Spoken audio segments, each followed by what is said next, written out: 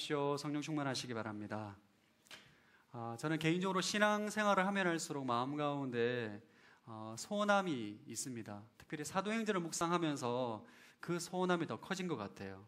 그 소원함은 뭐냐면 하나님께 쓰임 받는 인생이 되고 싶다.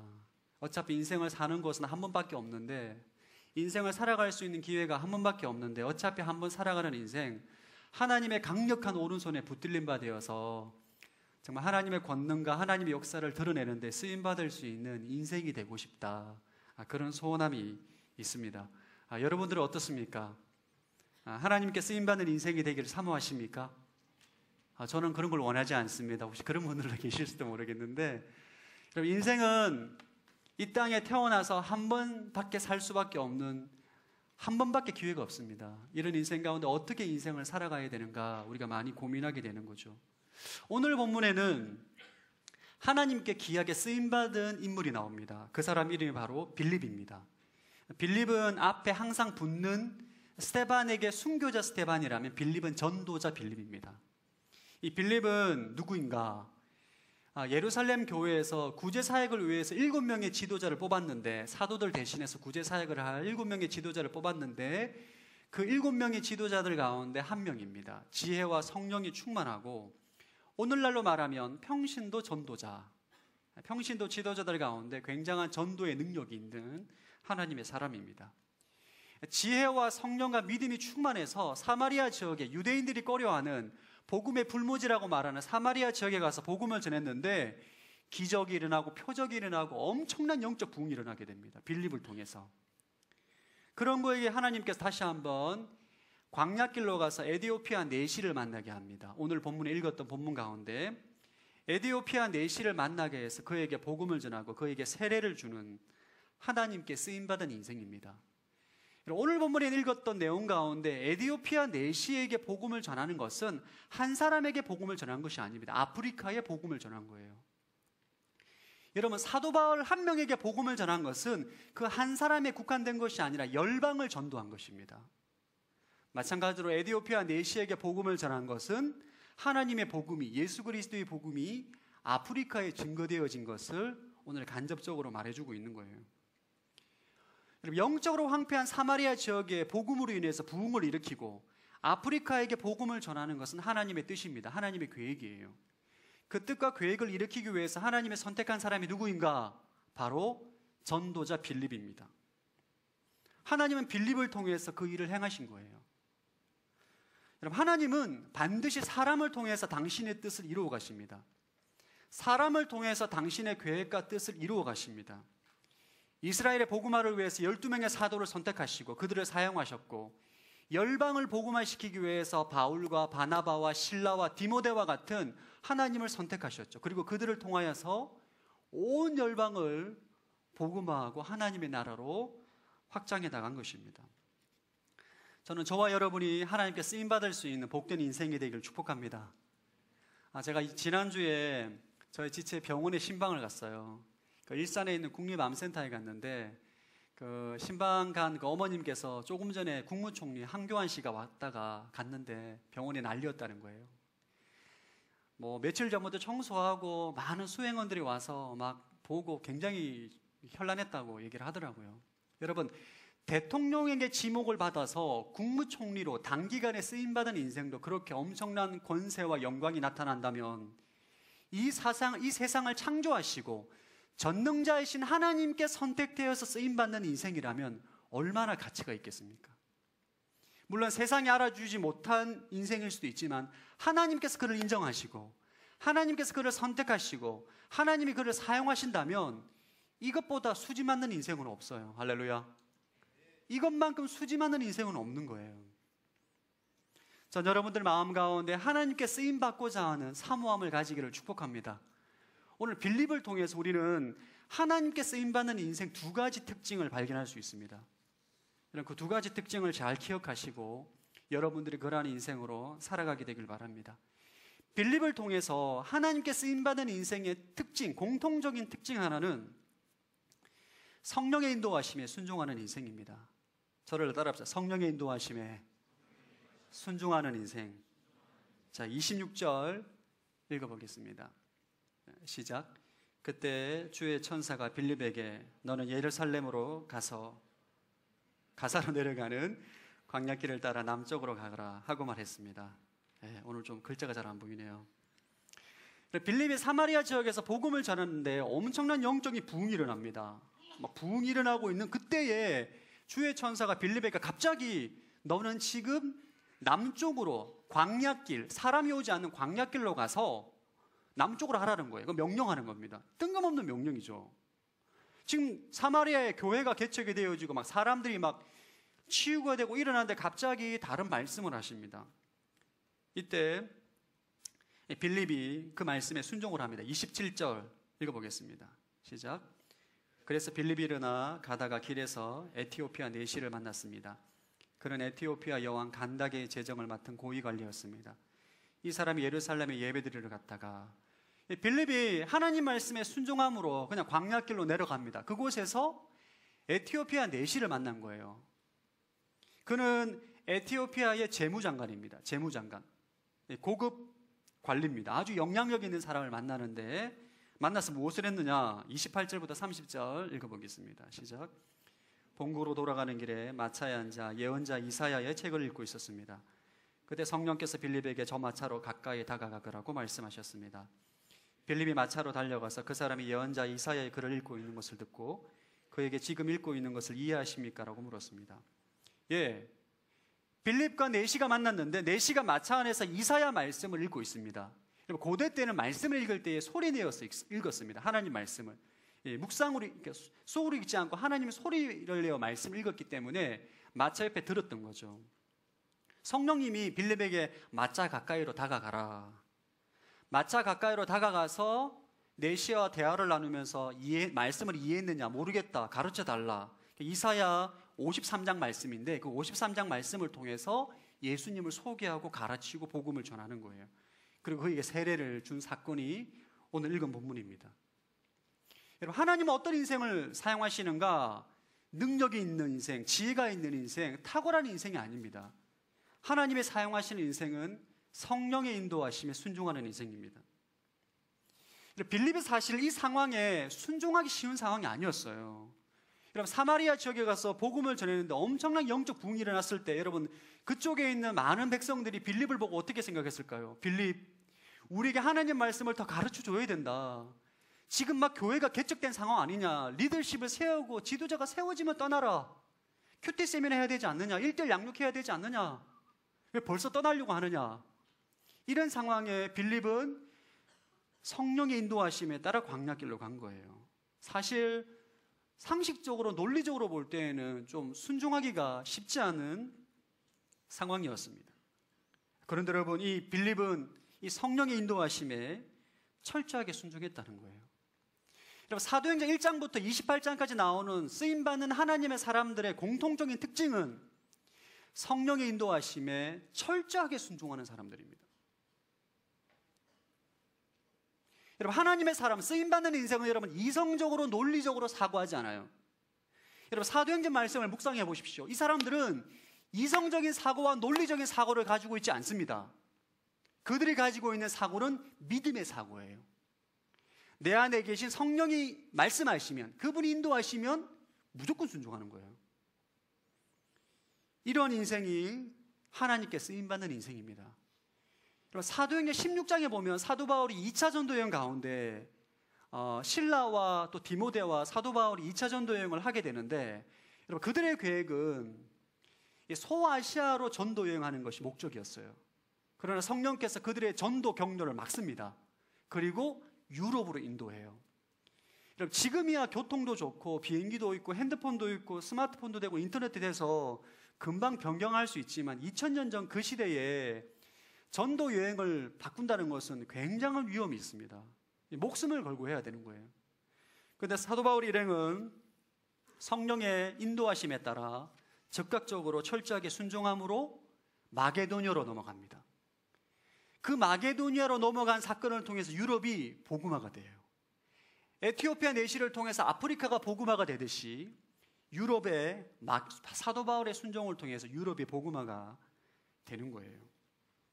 오늘 여러분과 나누고 싶은 귀한 주제 중에 하나는 성령의 인도하심입니다. 성령의 인도하심에 순종하는 것. 아, 목사님, 성령의 인도하심에 순종하는 거 모르는 거 마가 아니죠. 근데 문제는 잘 안 된다는 게 문제예요. 잘 안 된다고. 왜 우리가 성령의 인도하심에 잘 반응하지 못할까? 왜 우리는 잘 순종하지 못할까? 이유가 있습니다. 여러분들 가운데 성령의 인도하심에 순종하지 못하고 반응하지 못하는 이유는 익숙하지 않기 때문이에요. 내 안에 계신 성령님에게 반응하고 그분의 말씀을 듣고 순종하는 삶이 익숙하지가 않은 거예요. 인간은 원래 태초에 아담과 하와가 창조되었을 때는 그 안에 성령님이 계셨습니다. 그리고 성령님께 교제함으로 하나님과 대화하는 것이 너무나 일상적인 것이었습니다. 하나님과 교제하고 대화하는 것이 너무나 자연스러운 삶을 살았어요. 근데 죄로 인해서 타락하고 난 다음에 성령님이 떠나가게 됩니다. 하나님과 교제하는 법을 완전히 잊어버리게 됩니다. 하나님과 교제할 수 있는 그 길이 완전히 차단이 되게 돼요. 인간은 어떤 식으로 전락하게 돼? 눈에 보이는 것을 눈에 보이는 대로, 귀에 들리는 대로 상황을 보고 육체의 정욕에 따라 반응하는 인생으로 전락하게 됩니다. 신학적인 용어로 죄의 종으로 전락하게 된 거예요. 여러분 사실 하나님께서 우리에게 요구하시는 것은 이성적인 사고와 논리적인 사고만, 사고로만은 하나님을 관계할 수 없습니다. 우리에게 믿음의 사고가 필요해요. 그러나 예수님이 십자가에 죽으심으로 부활하심으로 성령께서 우리 안에 들어오셨어요. 예수님을 믿으면 성령님이 우리 안에 들어오십니다. 우리 안에 계신 성령님과 교제하고 대화하고 반응함으로 우리는 하나님과 교제하는 길이 열리게 된 거예요. 문제는 너무 오랫동안 죄종으로 살았기 때문에 성령님이 내 안에 계심에도 불구하고 그분에게 반응하고 대화하는 방법을 그 방법이 익숙하지가 않은 거예요. 그것이. 신부는 하나님의 자녀가 되었는데 삶의 방식은 여전히 과거의 죄종으로 살아갔던 삶의 방식으로 살아가고 있는 그리스도인들이 너무 많습니다. 성령 인도에도 성령의 인도하심인지도 모르고 성령의 인도하심에도 불구하고 순종하기가 어려운 거예요.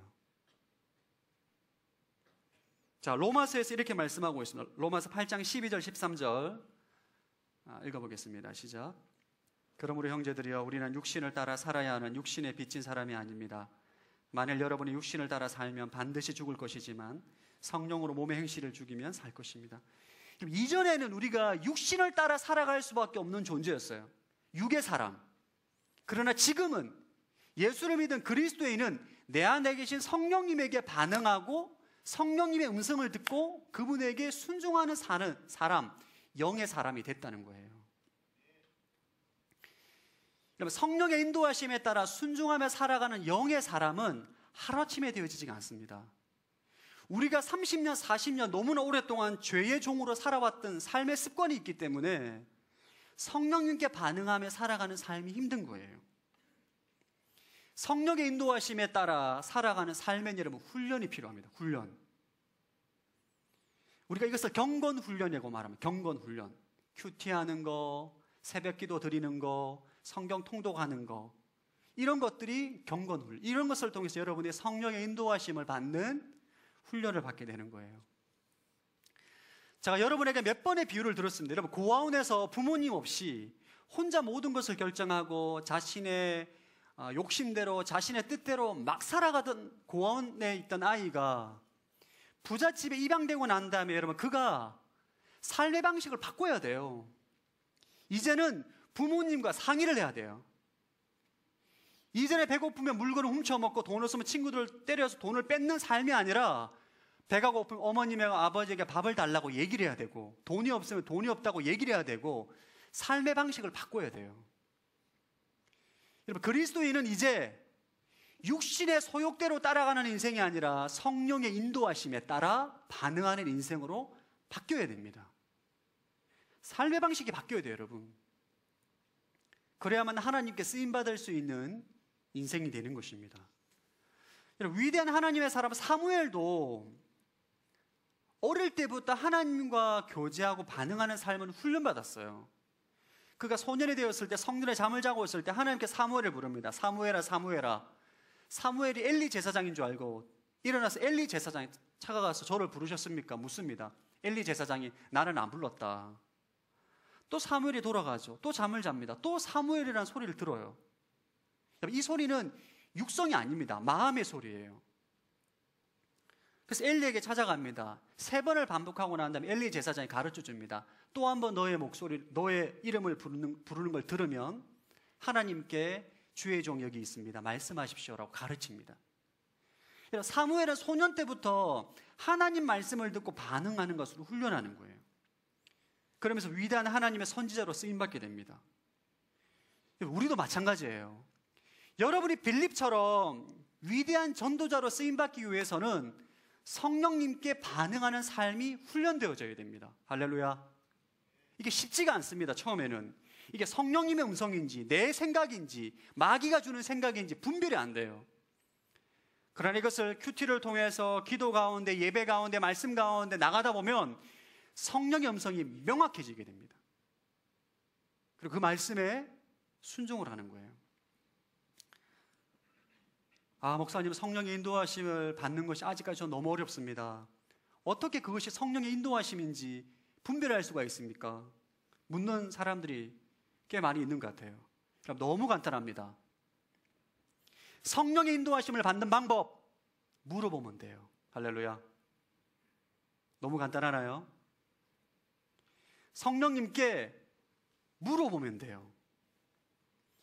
자, 여러분의 삶의 현장의 모든 일에 있어서 성령님께 묻게 되기를 축복합니다. 물어야 돼요, 여러분. 여러분이 성령님께 질문하면 성령님이 말씀하십니다. 믿으십니까? 매사의 모든 곳에 서 물으시기 바랍니다. 저는 요즘 성령의 인도하심을 훈련받는 영역의 기도입니다. 저는 여러분 새벽 기도를 17년 동안 했습니다. 할렐루야. 제 자랑이 아니고 자기가 의가 드러날까봐 조심스럽긴 한데 그만큼 열심히 했다는 거예요. 새벽 예배를. 24살 때부터 새벽 예배를 가서 지금까지 거의 쉬지 않았던 것 같아요. 저는 지금까지 새벽 예배를 드릴 때 보통 기도를 1시간 정도를 하는데 패턴이 있어요. 1시까지 1시간 기도 분량, 30분 기도 분량, 10분 기도 분량이 있습니다. 1시간 기도할 때 내 삶의 문제부터 해서 우리 일가 친척 기도 제목 다 돌립니다. 아는 사람, 그리고 아는 목사님, 선교사님 다 하고 나면 한 시간쯤 기도하면 이제 다 끝날 때쯤 됐어요. 그때 약간 미안하기 때문에 하나님 나라와 영광을 위해서 기도했던 그것이 저의 기도의 패턴입니다. 성령의 인도하심을 구하고 성령님과 교제하는 삶을 살면서 제 인생 가운데 가장 많이 변화가 일어났던 부분이 기도예요. 요즘 어떻게 기도하는가? 항상 기도할 때 이렇게 기도합니다. 주님, 무슨 기도할까요? 기도하면 한 번도 생각해 보지 않았던 기도 제목이 생각이 납니다. 한 번도 생각하지 않았던 인물이 생각이 나요. 그리고 지금까지 한 번도 기도해 보지 않았던 기도를 막 하고 있습니다. 이런 것들이 성령의 인도하심을 받는 거예요. 아, 저는 성령의 인도하심을 받는 게 너무너무 어렵습니다. 여러분, 너무 간단합니다. 두 가지만 하면 돼요. 첫 번째, 무게, 계획을 세우지 마십시오. 할렐루야. 여러분의 계획을 세우지 마세요. 두 번째, 물어보면 돼요. 계획이 많은 사람은 성령의 인도하심을 받는데 어려워요, 여러분. 나의 모든 계획을 내려놓고 성령님께 물을 때에 성령님의 인도하심이 명확해지는 거예요. 그래서 저는 오랫동안 이 사역자로 훈련을 받았기 때문에 지금은 병원에 신방을 가거나 누구를 만나거나 기도할 때 말씀에 팍 떠오릅니다. 그 말씀을 전하는 거예요. 여러분, 저는 설교를 할 때 똑같은 메시지를 전하기가 어려워요. 왜냐하면 똑같은 메시지를 전하면 전하는 편한데 항상 성령님이 다른 메시지를 줍니다. 그걸 전해야 돼요. 그걸 안 전하고 다른 메시지를 전하려고 하면 이 메시지 입에서 떨어지지가 않아요. 이런 것들이 성령의 인도하심을 받는 것입니다. 여러분들이 직장에서 직장 생활을 할 때라든지 누구를 만날 때라든지 사업을 할 때라든지 연애를 할 때 공부를 할 때 매사에 성령님께 묻게 되기를 축복합니다. 그 성령의 인도하심을 받는 거예요. 여러분 성령의 인도하심을 받느냐 안 받느냐는 인생이 하늘과 땅의 격차가 납니다.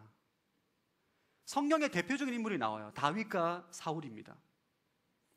이 두 사람은 처음부터 두 사람은 왕으로 기름 부음을 받고 하나님께 선택받은 놀라운 인생입니다.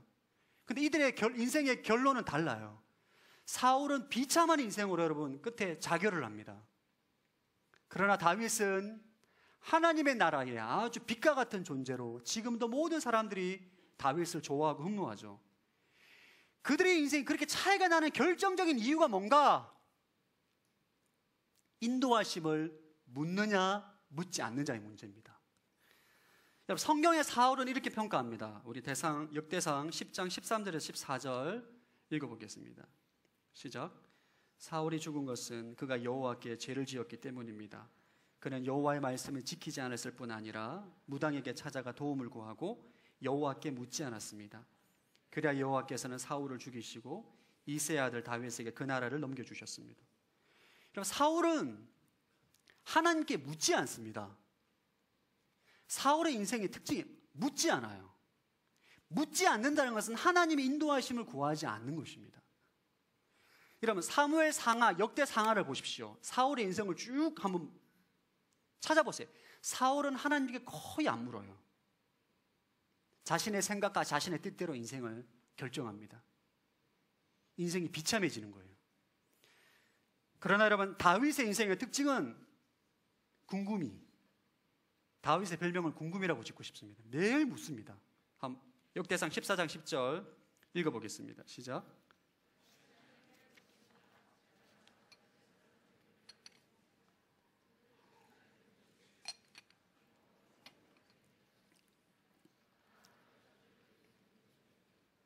다윗은 항상 묻습니다. 주님 전쟁을 할까요, 말까요? 이렇게 할까요, 말까요? 늘 물어요, 다윗은. 그럼 다윗은 노년에 인구 조사를 하거나 이럴 때 묻지 않는 죄를 범하긴 하지만 항상 묻습니다. 이게 다윗 인생의 특징이에요. 성령의 인도하심을 받는 거죠. 그런 인생은 승리할 수밖에 없습니다. 하나님께서 그런 인생을 쓰지 않을 수가 없어요. 왜냐하면 하나님의 뜻을 묻기 때문입니다. 뜻을 묻고 주님의 뜻이 드러나면 순종하고 담대하게 믿음으로 나아갈 때에 하나님의 능력과 권세가 나타나는 것입니다. 전 여러분들이 인생을 설계하실 때 날마다 주님께 묻고 설계하기를 축복합니다. 여러분 항상 물어야 돼요. 주님 무슨 기도를 해야 될까요? 주님 오늘 하루 누구를 만날까요? 무슨 말을 할까요? 어떤 인생으로 살기를 원하십니까? 나를 향한 계획이 무엇입니까? 여러분에게 재정을 주면 이 재정 어떻게 할까요? 상품권을 주면 이 상품권을 어떻게 할까요? 항상 묻는 거예요. 그것이 성령의 인도하심을 받는 인생의 특징입니다. 여러분들이 그러한 인생으로 살아가기를 축복합니다. 놀랍게 쓰임받게 될 거예요. 빌립을 통해서 확인할 수 있는 두 번째 쓰임받은 인생 특징은 복음으로 준비된 인생입니다. 우리 30절, 31절 읽어보겠습니다. 아, 시작. 빌립이 마차로 달려가서 그 사람이 예언자 이사의 글을 읽고 듣고 그에게 지금 읽고 있는 것을 이해하십니까? 라고 물었습니다. 그러자 그는 설명해 주는 사람이 없는데 내가 어떻게 알겠어라고 대답하면서 빌립에게 마차에 올라와 자기 곁에 앉으라고 부탁했습니다. 예, 빌립과 네시가 마주쳤을 때 이 네시가 마차에서 이사야서를 읽고 있어요. 이사야 말씀, 53장 말씀을 읽고 있었습니다. 이때 빌립이 그 말씀을 이해하십니까? 라고 질문합니다. 네시는 모르겠다고 말하고 빌립을 자기의 마차에 태웁니다. 그리고 이 빌립이 그 말씀을 설명해 줘요. 그 고난받는 메시아가 누구냐? 예수 그리스도다. 자, 34절, 35절 읽어보겠습니다. 시작. 그 네시가 빌립에게 이 말을 누구를 두고 한 말입니까?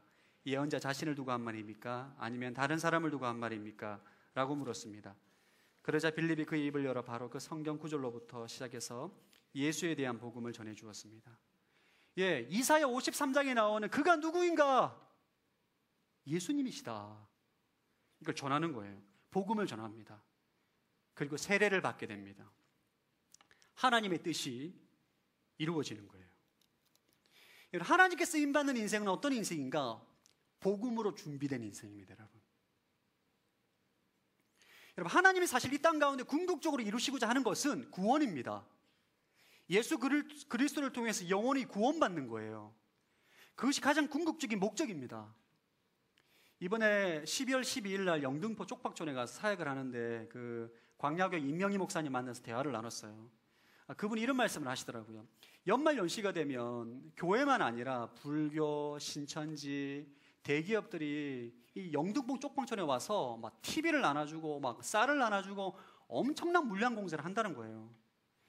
그리고 사진 찍어가고 이것을 교회 안에서 홍보하는 것으로 사용한다는 거예요. 이분이 무슨 말씀을 하시느냐? 예수 그리스도의 복음 없는 구제는 인생을 망가뜨린다. 그 영등포 쪽방촌에 연말매 되면 사람들 심리 가운데 이 거지 근성이 살아나가지고 안 주면 더 화낸다는 거예요. 절대로 이렇게 하면 안 된다. 복음이 들어가고 그와 함께 구제가 들어가야만 영혼을 살리는 것이다. 이 말씀을 저에게 하시면 저희 공동체에게 도와달라고 얘기를 하더라고요. 우리가 이 땅 가운데 구제를 하고 사람을 도와주고 또 헌금을 하고 봉사를 하고 수고를 하는 그 모든 궁극적인 목적은 예수님을 전해서 영혼을 구원하는 것입니다. 이것이 하나님의 뜻이에요. 사도행전에 나오는 수많은 사도들을 통해서 베드로를 통해서 요한을 통해서 스테반을 통해서 빌립을 통해서 바울을 통해서 무엇을 합니까? 예수님을 전하고 복음을 전해서 영혼을 구원하는 것입니다. 이것이 하나님의 뜻이에요. 하나님께서 임받기 위해서는 우리가 복음으로 준비가 돼야 돼요. 예수님으로 준비가 되어서 여러분이 만나는 사람들에게 담대하게 예수님을 증거할 수 있어야 됩니다. 복음을 증거할 수 있어야 돼요. 오늘날 많은 청년들이 복음을 전하는 것에 있어서 상당히 두려워합니다. 부담스러워해요. 뭐 교회에서 바이블 아카데미라든지 뭐 프로그램을 개설하면 제일 인기 없는 과목 전도 폭발, XE, 뭐 사형리 이런 거, 온누리 5분 전도 거의 신청 안 해요. 인기 있는 과목 성경 탐구 40일 이런 거. 막 4, 500명씩 몰려드는데 전도 폭발 30명, 20명, 수료자 10명.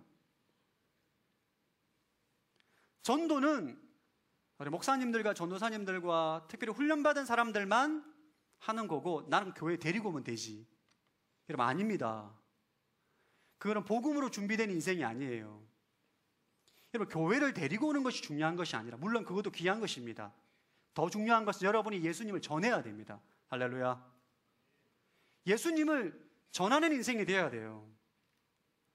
왜 전도를 어려워하는가? 여러분들 가운데 전도가 어려우시면 잘 들으십시오. 잘 들으셔야 돼요. 오늘 제가 마지막 설교이기 때문에 잘 들으셔야 돼요. 왜 전도가 힘드냐? 왜 복음을 전하는 게 힘드냐? 예수님과 친밀하지 않기 때문입니다. 예수님을 모르는 게 아니에요. 그러나 그분과 교제하고 동행하는 삶을 살지 않기 때문에 그분을 경험하지 못하기 때문에 예수님을 전하는 것이 힘든 거예요. 아, 여러분 저는 연말이 되면 연말과 이 연초에 되면 이 추천서를 써달라는 부탁을 굉장히 많이 받습니다. 이제 학교에 이제 기독교 학교라든지 대학교에 교수라든지 교사로 추천을 많이 부탁받아요.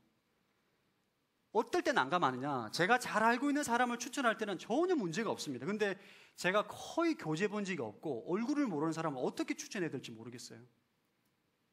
이 굉장히 큰 어려움입니다. 복음을 전하는 것도 이와 똑같아요. 여러분들이 예수님을 믿으면 구원을 받는다. 그 지식은 여러분 예수님을 안다라고 말할 수 어렵습니다. 그건 지식이에요. 그러니까 예수님을 믿고 하나님의 자녀가 되었기 때문에 주일날 교회 와서 예배 드리고 그게 끝. 월요일부터 토요일까지는 예수님을 전혀 관계하지 않는 삶. 생각해보지도 않고 그냥 아무런 생각 없이 마음대로 살아가는 인생은 예수님과 친하지 않습니다. 잘 몰라요. 그렇기 때문에 사람들에게 예수님에 대해 추천할 게 없어요. 뭘 말해야 될, 말 말이 없어요, 할 말이. 관계하는 삶이 없기 때문에 예수님과 동행하는 삶이 없기 때문에 예수님에 대해서 할 말이 없는 거예요. 아, 예수님은 우리를 위해 십자가에 죽으셨죠. 그분을 믿으면 구원을 받는다고 하더라. 이거 외에는 할 말이 없는 거예요. 안 친하니까. 그러니까 전도란 나와 교제하고 나와 동행하시는 그 살아계신 존재를 전하는 것입니다. 근데 목사님께서 말씀하시는 예수님, 하나님 보좌 우편에 계시는 멀리 계시는 그분을 그냥 전하는 게 아니라 여러분 안에 계시고 여러분과 동행하시고 여러분과 함께 하시는 그 경험되어지는 그 예수님을 전하는 거예요. 그러니까 여러분들이 전도가 힘든 이유는 예수님과 동행하는 삶을 살지 않기 때문입니다. 여러분, 내가 보지 않은 영화를 다른 사람들에게 광고하기 어렵습니다. 제가 얼마 전에 아내와 그 생일 때 이터널 션샤인이라는 영화를 봤어요. 혹시 보셨나요? 어, 제가 너무너무 감동을 받았어요. 짐 캐리가 나오는 영화인데 진짜 감동입니다. 여러분, 내가 경험해야 봐야 전할 수 있는 거예요. 여러분, 인생의 모든 문제는 예수님에 대해 눈이 열리면 다 열리게 됩니다. 할렐루야. 자, 한번 저를 따라 예수에 대해서 눈이 열리면 모든 것이 해결된다. 오늘 4시가 하나님을 경외하는 이방이었는데 이사야 53장 말씀을 통해서 예수에 대해서 눈이 열림으로 그가 에디오피아에 가서 엄청난 영향력을 갖게 됩니다. 실제로 우리가 여러분 예수님을 바라보는 영안이 열려야 돼요. 그래야만 인생의 문제가 해결이 됩니다. 성경의 눈이 열리게 되고 진리의 눈이 열리게 되고 인생의 문제의 해결이 예수 그리스도임을 깨닫게 되는 거예요. 여러분, 예수님을 단순히 나는 믿었다. 그분이 나의 주님이다. 난 구원받았다. 여기에서 그치면 여러분, 예수님을 모르는 거예요. 그건 예수님을 안다라고 말할 수 없습니다. 아, 오늘이 제가 W에 온지 만 2년입니다. 제가 12월 마지막 주 주일날 설교로 2년 전에 말씀을 전함으로 W에 부임을 하게 됐고 오늘 딱 만 2년 마지막으로 말씀을 나누게 되었어요. 오늘 하나님께서 W 공동체의 마지막 말씀을 무엇으로 전하게 하실까 굉장히 많이 기도했었는데 오늘 빌립을 통해서 이 말씀을 전하게 된 것이 너무너무 감사합니다. 여러분 저는 W 공동체에 와서 굉장히 많은 축복을 받았어요. 굉장히 많은 축복 받았는데 그 중에 가장 큰 축복은 예수님을 보는 눈이 열린 거예요. 할렐루야. 여러분, 저는 24살 때 예수님을 만나서 극적으로 인생이 변했어요. 그리고 목회자가 되기로 결단하고 주의 부르심에 따라 신학교를 가고 안수를 받고 목사가 되었습니다.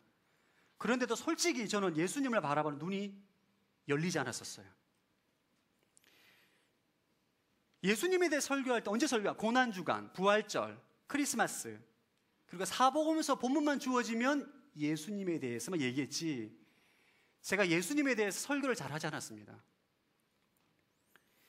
W 와서 제가 십자가 복음을 주님께서 깨닫게 해주셨어요.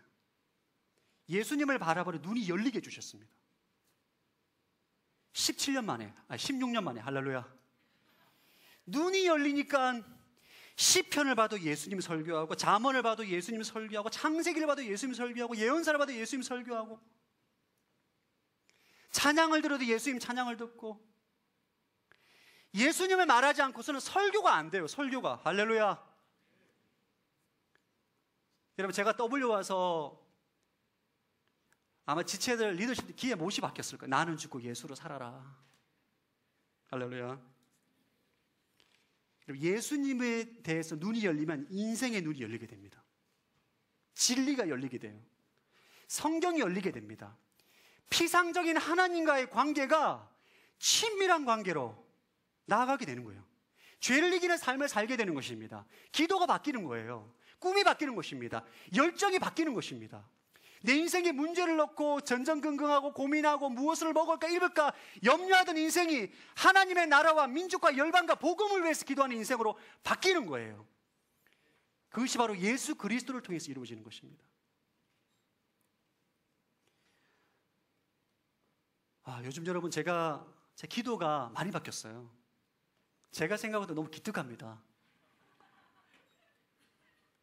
진짜 상당히 오래된 요즘은 여러분 사도행전 말씀을 설교하면서부터 제 안에 1번 기도 제목에 주님 성령의 권능을 받아서 예수님의 증인으로 살게 해 주십시오. 이게 제 1번 기도 제목이에요. 자, 특세 책자 1번 기도 제목에 적혀 있어요. 옛날엔 좀 안 그랬습니다. 부끄럽지만 솔직히 안 그랬어요. 주님, 큰 교회 유명한 담임 목사가 되고 싶습니다. 그래도 시골에서 용났다란 소리 들으려면 그 정도는 돼야 되지 않겠습니까? 이런 욕망으로 가득 차 있는 많은 기도 제목들이 있었어요. 지금은 제 소원이 예수님과 동행하는 삶이 제 소원입니다. 할렐루야. 이게 얼마나 큰 소원인지 몰라요. 너무너무 바뀌었어요. 이게 여러분, 예수님에 대해 눈이 열리면 인생이 완전히 바뀝니다.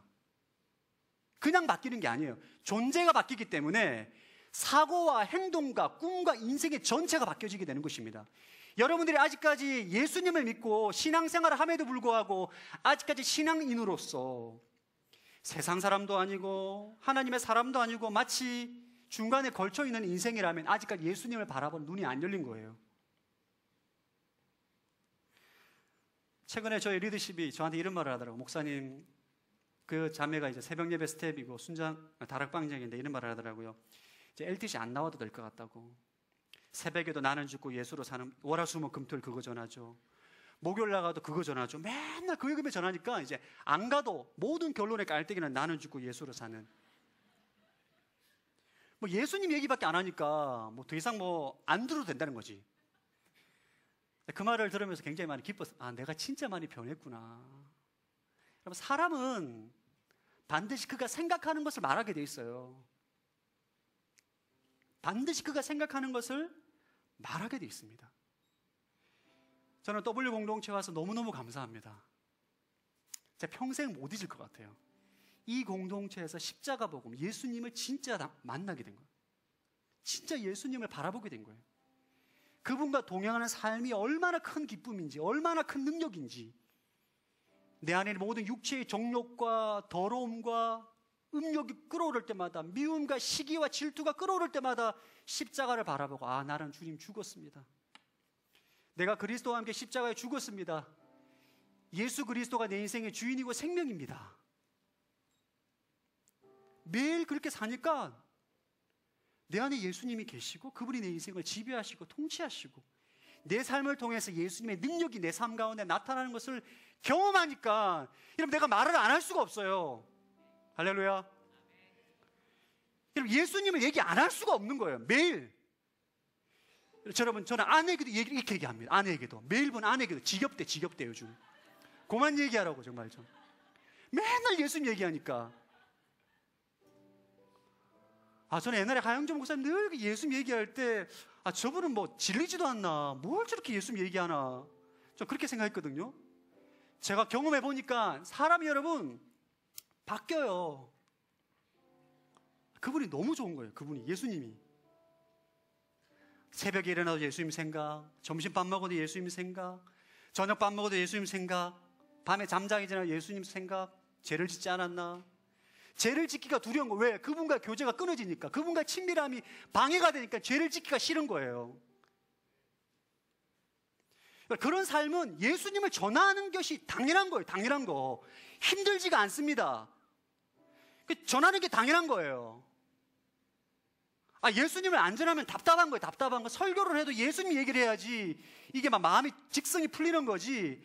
얘기를 안 하면 마음이 막 너무너무 힘든 거예요. 전 여러분들이 그러한 인생이 되길 축복합니다. 여러분, 하나님이 그런 인생을 쓰시는 거예요. 여러분의 직장을 바꾸게 될 줄로 믿습니다. 여러분의 가정을 바꾸는 거예요. 여러분의 관계하는 모든 사람들 가운데 인류의 구원자의 인류 인생의 모든 해답이 되시는 구원자 예수를 증거함으로 인생이 바뀌는 것입니다. 존재가 바뀌는 거예요. 삶이 바뀌는 것입니다. 생각이 바뀌고 꿈이 바뀌고 열정이 바뀌고 기도가 바뀌고 사도행전에 나오는 빌립과 바울과 베드로와 같은 인생으로 바뀌는 것입니다. 자, 여러분들이 하나님께 쓰임 받을 수 있는 인생이 되기를 축복합니다. 여러분 W 공동체 여러분 제가 오랫동안 기도했습니다. 하나님 예수님의 증인 공동체가 되게 해 주십시오. 이 공동체가 여의도뿐만 아니라 열방 가운데 예수님을 증거하는 증인 공동체로 세워지기를 주의 이름으로 축복합니다. 우리 다 함께 일어나서 우리 함께 이 찬양 한번 전심으로 불렀으면 좋겠습니다. 주 없이 살 수 없네. 한번 같이